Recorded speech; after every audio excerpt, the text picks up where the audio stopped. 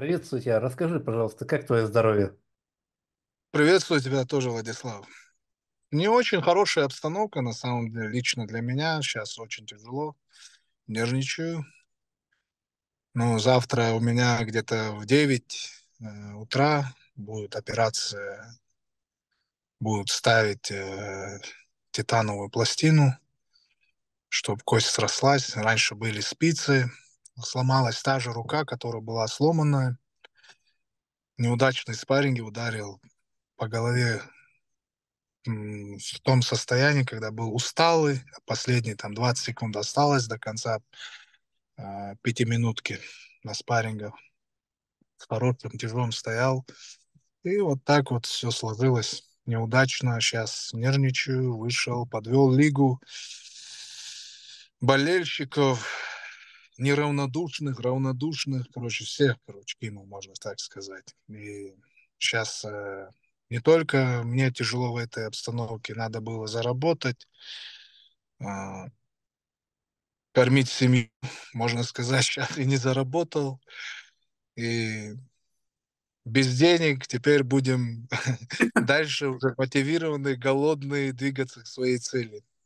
Скажи, пожалуйста, а как Лига отреагировала на твою травму? Пыталась ли она подождать в надежде, что все восстановится?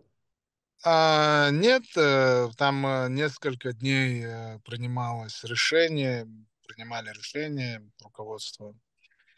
А, на самом деле я уже, чтобы не подвести лигу, был готов а, выступить сломанной рукой, заморозить, выйти, что будет, то и будет. Но мне не, не настолько эта рука нужна была. Я, чтобы недооценки, чтобы, чтобы э, это будет неправильно с моей стороны, если я сейчас буду там говорить, что я Корнилова там э, в легкую там выиграл бы, парень готовился, я не могу искать сейчас легких путей, но я скажу так, что мой э, Корнилов для меня хоть сломанной рукой, он для меня не являлся таким, э, таким сверх, таким бойцом, чтобы я не смог бы его выиграть.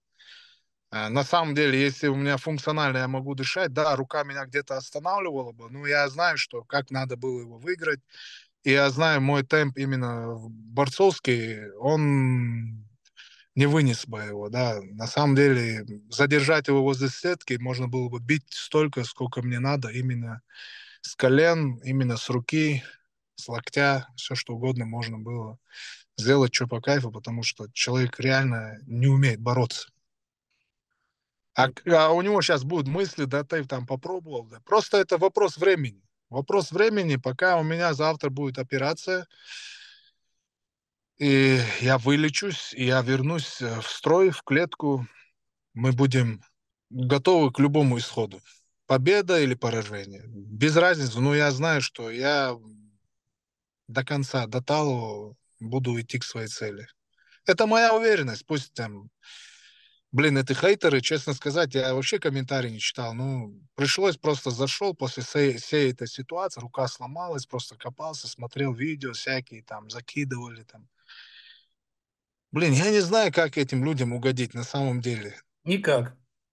Вообще, походу, вообще грязью обливает, что я такой, там касается и чести, все что угодно.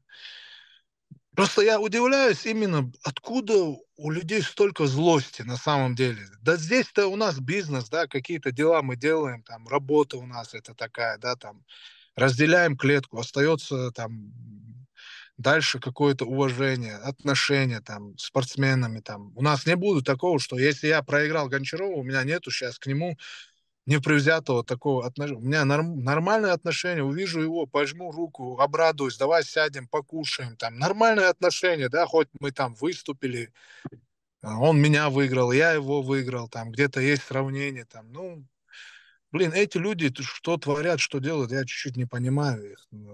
Такие глупости пишут на самом деле. Это я считаю. А кто там меня там где-то что-то там недолюбливает? Ну, я не знаю. Мне кажется, чтобы э, понять, надо в моей шкуре побывать им, да? Да, столько труда здесь, столько разговоров, столько этих там понятия у людей в последнее время очень какие-то непонятные стали, тяжелые, нету понимания друг друга. Вообще я не знаю, к чему это все идет, э, что вообще происходит на самом деле. Я всегда раньше думал, какая-то в этой жизни есть какая-то справедливость. Но я для себя сейчас убежден все сто процентов, что нету справедливости. Ее нету, реально нету. Расскажи, а как э, принималось решение о твоем лечении? Где, кто и так далее?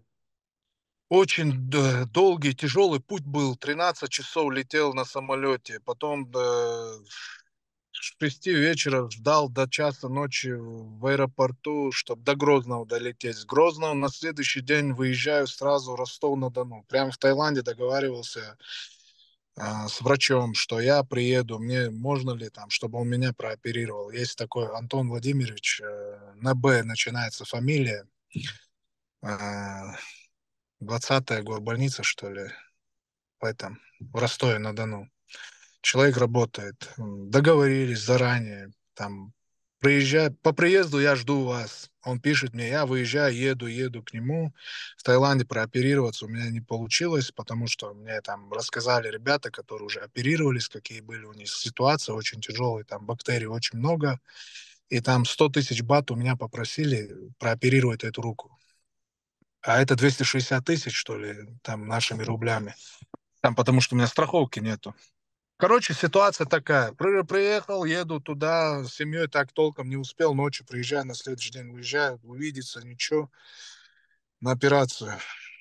Ну, человек говорит, да вот, там, сегодня не получишь, завтра приезжай, послезавтра с ним встречаюсь, через два дня снимаю суточную квартиру, долгая дорога. На третий день встречаемся, он мою там руку пощупал. А, сдай якобы такие-то, такие-то анализы, и, блин, там э, анализ э, на этот... Э, на кровь?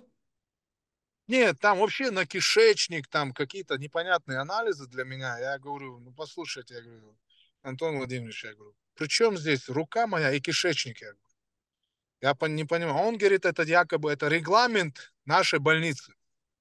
Типа навя... навязывает мне я с ним договариваюсь прямо с Таиланда, что мне нужно прооперировать там определенные какие-то анализы, все прооперировал.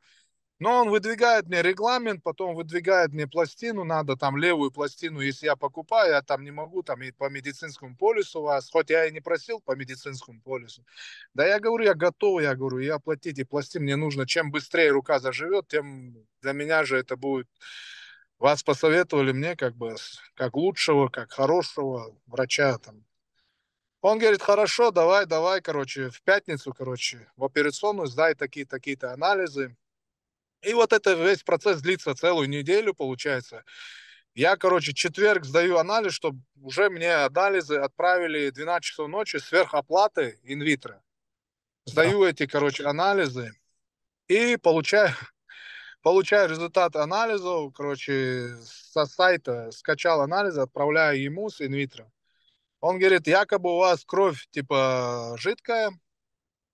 Он мне на мои сообщения не отвечает сначала. Там, говорит, чуть позже отвечу, и там целый там полдня проходит.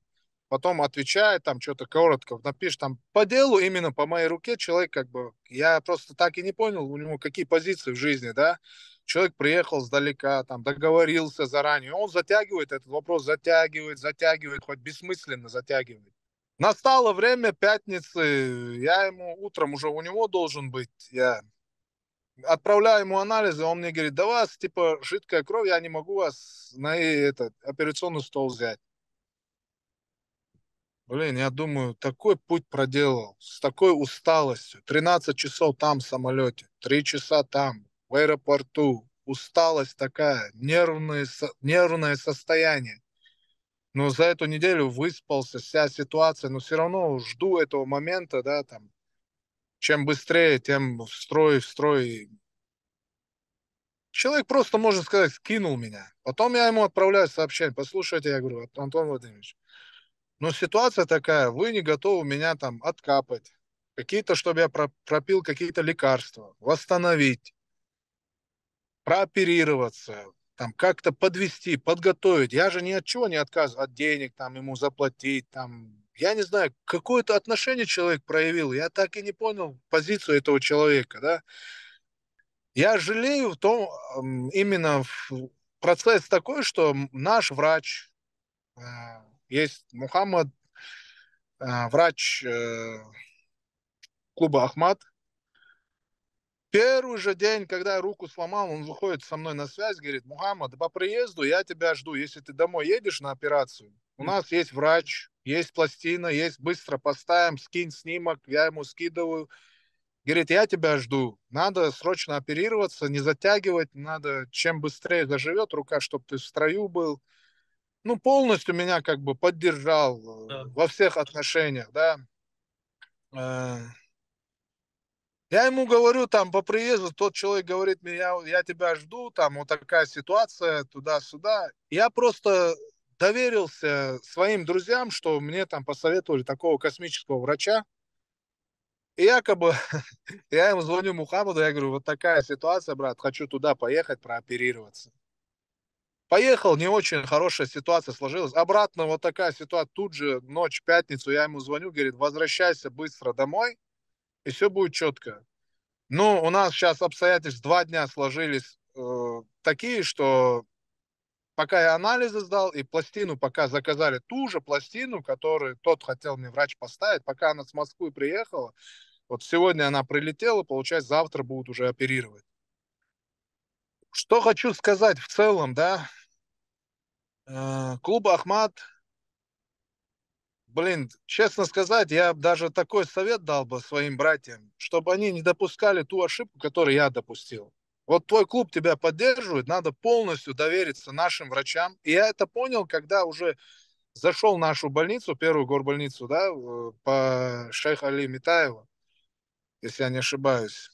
И я понял настолько такое ответственное, правильное, хорошее отношение. Каждый заходит, каждый интересуется, каждый спрашивает, какие анализы, что. Такое отношение прямо за анализы ничего платить не надо, ни за что. Просто у тебя берут, просто направляют. Настолько такое хорошее отношение, я, блин, да я не знаю, прямо в душе так спокойно стало. До того такое хорошее отношение, реально вот, э, не знаю даже, как это выразить.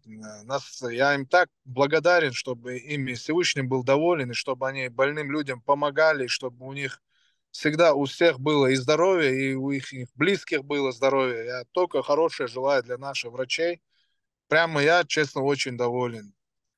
А сейчас дома вот завтра движуха будет.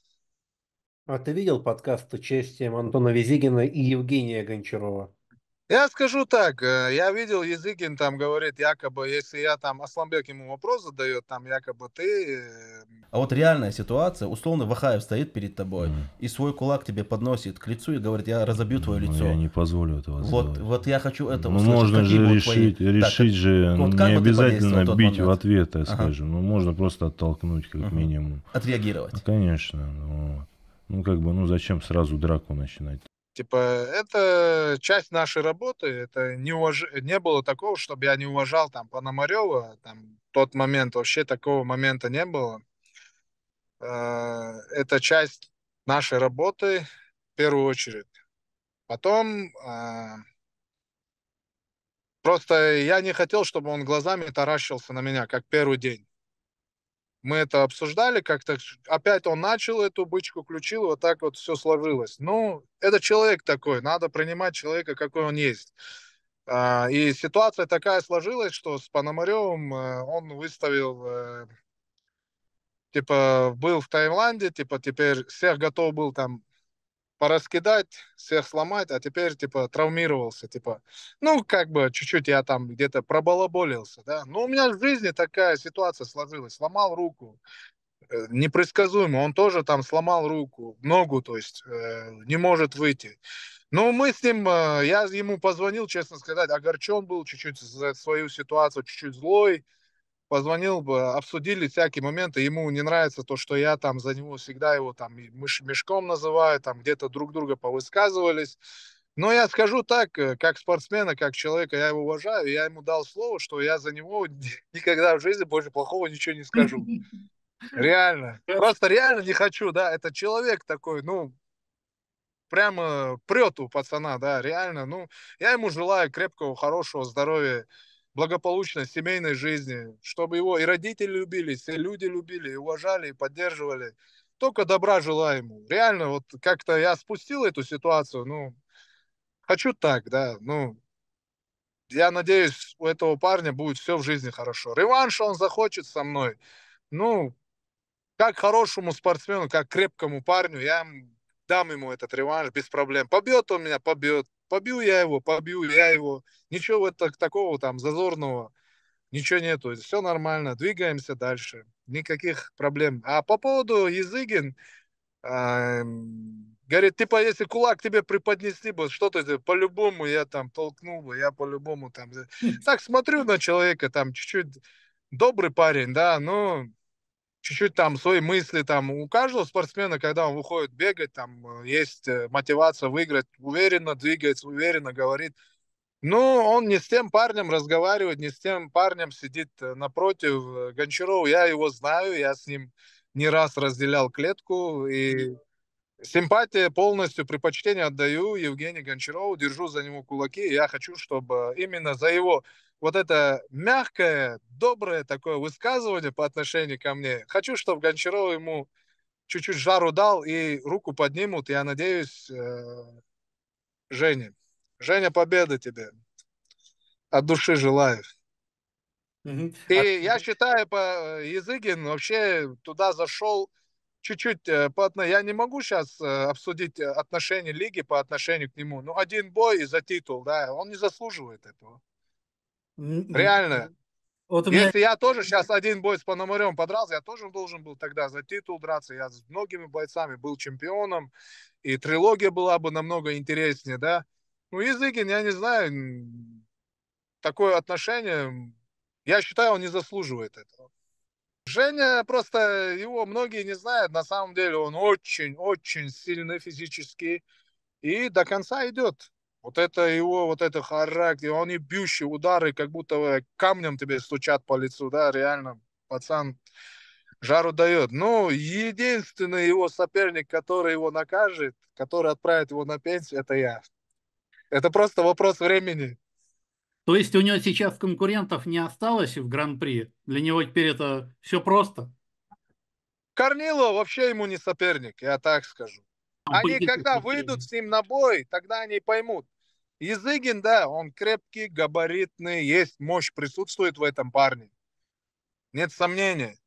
До конца будет э, идти. Но э, Женя, если он в той форме, которой выступил со мной, я считаю, что Изыгин для, меня, для него это небольшая проблема, потому что Изыгин не такой боец, чтобы он одним жебом бил, и чтобы он нету такого, чтобы он нападал, навязывал, бросал, переводил. Ничего такого, что функционального, чтобы он его посадил, в нем нету ничего такого. Ты говоришь про Визигина и Корнилова, списываешь Адама Богатырева. Адам Богатырев, Адам Богатырев очень долго, долгий простой у парня. На самом деле очень хороший боец, хороший человек, наш брат. Но долгий простой, он все равно сказывается. Травмы, личные какие-то жизни, дела. Я понимаю, что он сейчас голодный будет, но психологически будет, мне кажется, чуть-чуть тяжело пятираундовый бой выйти. Но это как бы на руку, это Корнилову.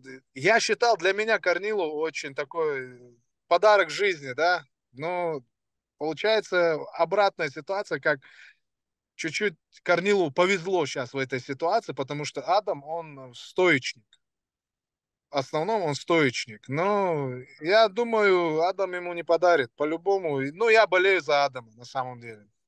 Кстати, а Богатырев говорил мне, что он не хотел бы встречаться ни с одним из Вахаевых. Ну, мы этот, ну, мы там, э, как любые спортсмены, встречались в, в одном клубе, клуб Ахмад в Толстоюрте, э, тренировались, вместе кушали, купались, жили. Там у нас такое хорошее отношение, всегда братское, всегда.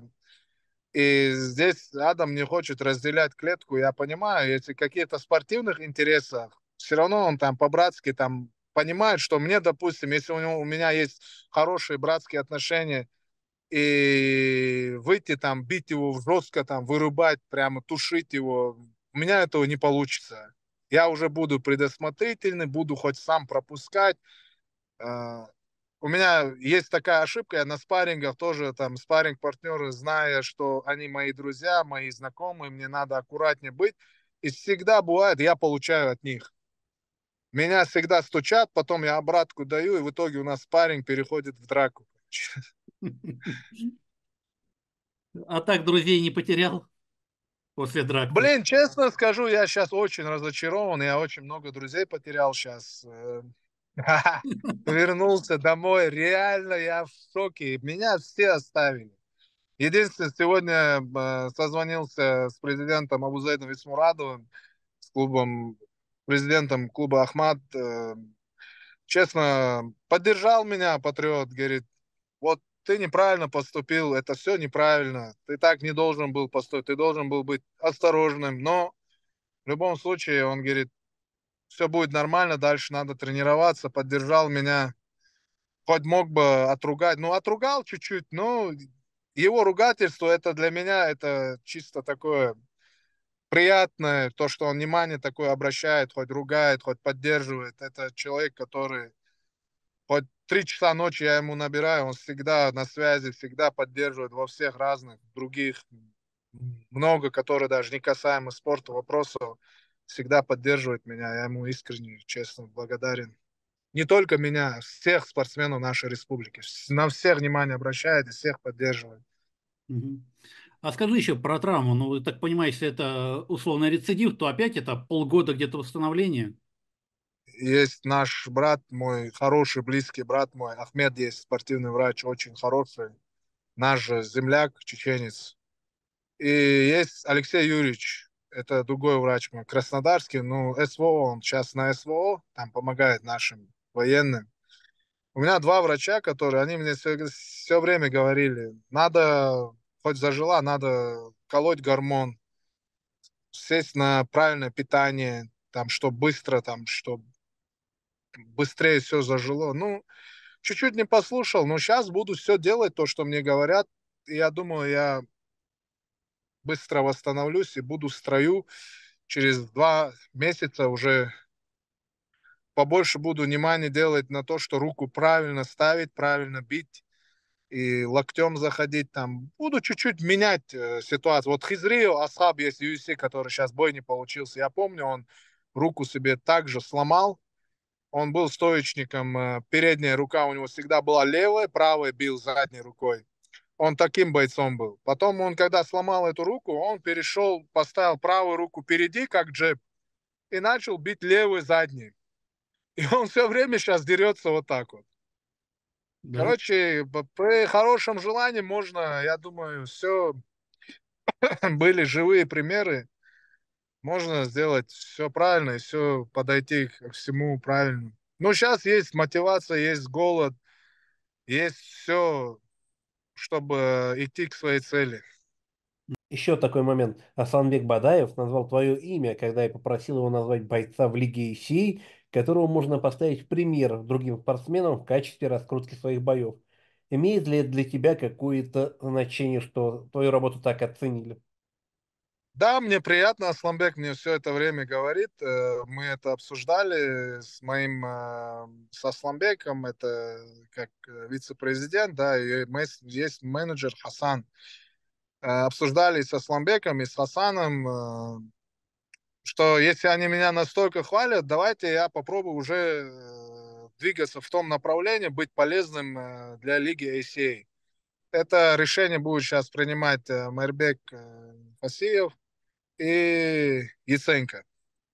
Угу. Вот, они примут это решение, я готов быть полезным для лиги не только в боями, а именно эм, как бы именно мои мысли, какие есть э, именно про бойцов, да, э, какие они есть, что они могут дать, что они не могут дать, чем они могут порадовать, ничем. Ну, вообще, по сути, что вообще, я думаю, у меня получится, я хотел бы, если меня хвалят, э, такие опытные достаточно, то, что в ММА, мир ММА не находится ни первый, ни последний день, и поэтому мне хотелось бы попробовать.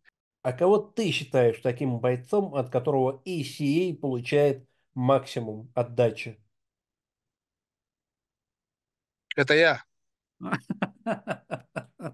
Хорошая На самом деле, я знаю, что я делаю а, все для того, что, чтобы получить эту отдачу. И я это делаю всей душой. И я знаю, что у меня это получается. Потому что я вижу, что зал, в моем выступлении, зал бывает полный. Я затягиваю этот э, хейтерский интерес, который и равнодушный, и неравнодушных всех могу затянуть. Не именно красочными какими-то там, не знаю, боями, именно вот это интервью, этот есть Али Иса, Мухаммад Керимов, Базигит Атаев. Они говорят, Мухаммад, нам не столь важно твое выступление. Блин, твое интервью выйдет, я до конца ни одно интервью не посмотрел. Твое смотрю, мне так по кайфу бывает тебя слушать. Говорит, ты такие вещи можешь там понакидать. Давно как не разговаривал, вот кстати, ни с Багизитом Атаевым, ни с Али Исаевым.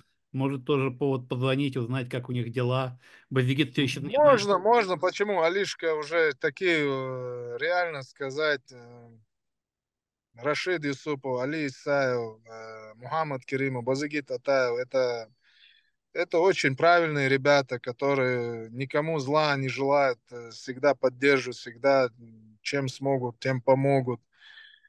Это вообще, я не знаю, только хорошее может зайти. Просто если я один раз с ними столкнулся бы, там ситуация была бы там один раз там, я не знаю, ну, как сказать, один раз на сборах, два раза на сбор, три раза на сбор. Если была бы такая ситуация, нет, у меня уже раз десять, и бывает же, человек допускает какую-то ошибку, где-то не поддержал. Не было ни разу такого, что настолько порядочный, что реально только хорошее могу сказать. Ну, многим не нравится моя правда. Многим она не нравится. Ну, у меня есть свое мнение какое-то. Ну, я думаю, за блин, я сейчас перестал думать о мнении, уже до того я пережил эту жизнь какую-то непонятную для себя.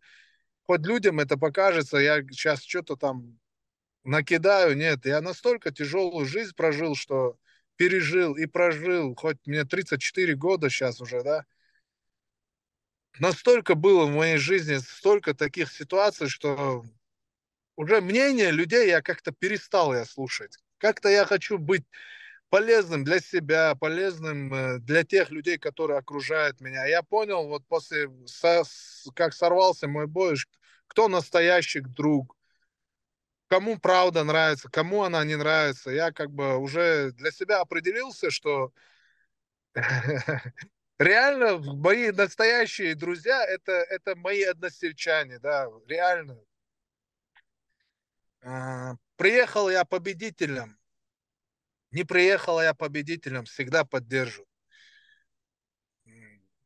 Неважно, какой ситуации. Они потому что знают меня, зная мой характер. Ну, многие там бывает, там слышу со стороны, там где-то кто-то недолюбливает. Ну, не всем же, не всем же меня тоже любить, правильно? Ну да, там надо... не тысяча долларов, чтобы ты всем нравился. Да. Но я их всех люблю, всех своих односельчан, всю свою республику, всю, всю Чечню, всех я люблю. Вот всю Россию, да, всех людей на свете люблю. Только добра могу пожелать всем. Блин, я так на самом деле устал от этих всех вот этих моментов, интриги, вот эти все вот это переломы жизни какие-то. Случаи всякие так столкнулся уже реально. Я сам один, и мне приходится тянуть сейчас э, свою семью. И мне на самом деле очень тяжело. Но я не сдамся, до конца буду двигаться, до конца к своей цели.